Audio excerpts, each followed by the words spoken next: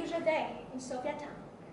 5.30 in the morning, Philemon gets up does not like to wake his wife Matilda. As usual, he gathers his briefcase, files, the letter of his lawyer for boss, his wife's and his own cleaning slips. He takes round a trail of warm breakfast to his wife, cut in bed, and leaves to work. As usual, he takes the bus with old Maphikela. And Maphikela says, Philemon, well, it's not really any of our business, but I think I should tell you. It seems there's a young man who's going to visit his wife every morning. Dad, Philemon says hoarsely, I have to go back home. Birds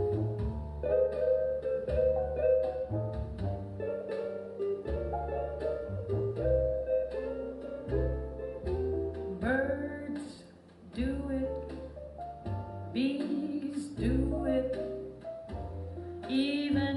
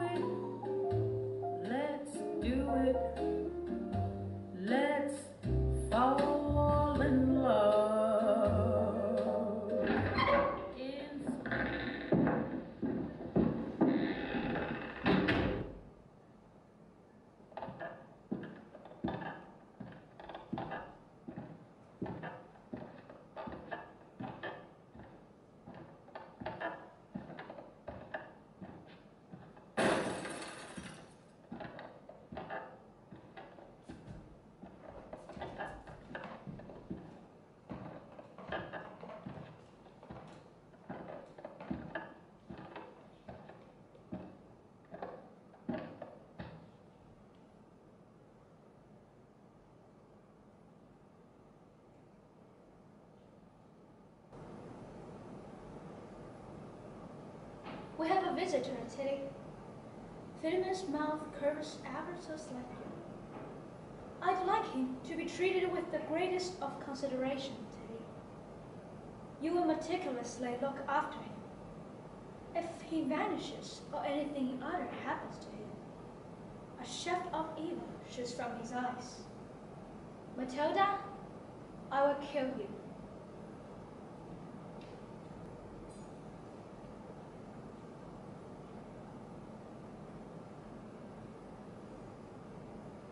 Seat our friend in front of the table and place in front of the chair so he becomes indeed the third person. Philemon went on relentlessly. Dish up for him, generously.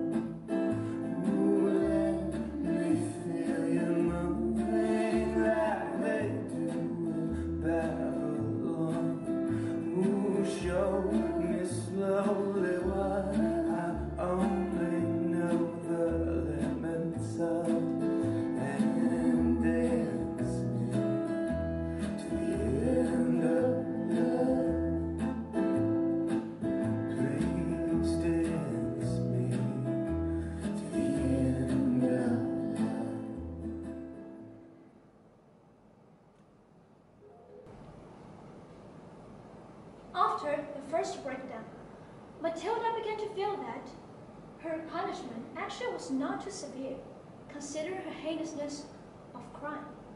She tried to put a joke into it.